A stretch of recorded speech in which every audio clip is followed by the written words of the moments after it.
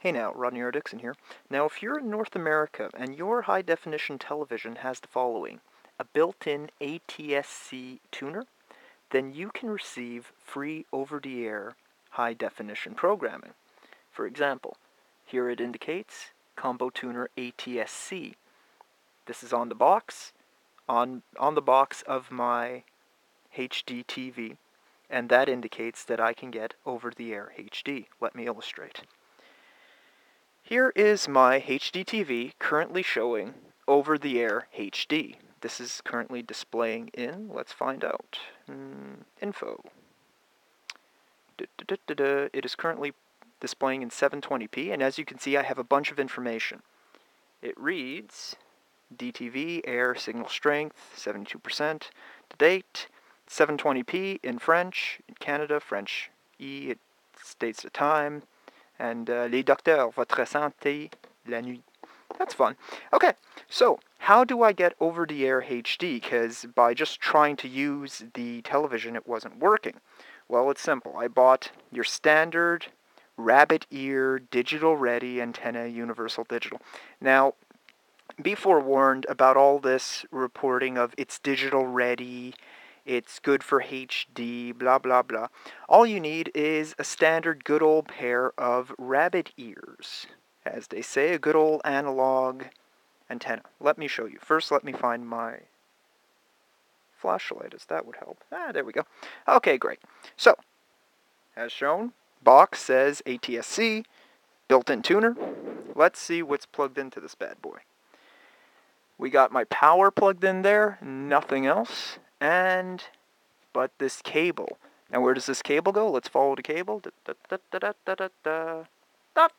There you go. Just a good old rabbit pair of rabbit ears. Now you'll see what I did with the rabbit ears. Not only did I place them close to a window, but I also extended the antenna out to the left and the right. I find it gives much better reception than having them in the standard uh, forked position or vertical position. You'd have to play around to find out what gives the best reception for your video quality. But there you go. So once again, power, uh, ATSC built-in digital tuner, and a pair of good old standard old-fashioned rabbit ears. Uh, an analog antenna. Oh, I should mention that the analog antenna is connected via uh, coaxial joint. Now, the reason for that is because at least all the digital, the HD televisions I've seen do not have the the prong connectors with the two screws to connect a um, an antenna anymore. But there you go, and that's how you could get over-the-air HD. So, like I said, uh, dependent on your set, of course, I'm going to press info, and right now I'm viewing this in 720p, of course, it's French, and it gives information about the program. Of course, the other benefit of um, over the air HD is you also have a guide similar to a um, to a cable service or a satellite service or a um, uh, what's that called fiber optic television service. So essentially, it gives you a breakdown of the programming to come with a description, the times that is going to play, and uh, there you go. So I could scroll down and I could get descriptions of each program. For example, at 5 p.m., Privé Dessin, cette semaine, Alexandre Barrette et Mélanie Maynard. Oh, that's fun. And there you go.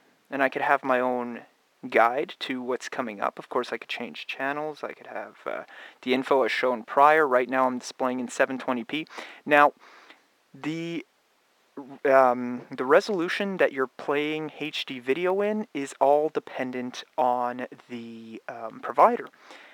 Certain providers will play video in 720p and certain video uh, providers will play content in 1080i. Now it's important to note that there is currently at least in North America no provider that displays content in 1080p.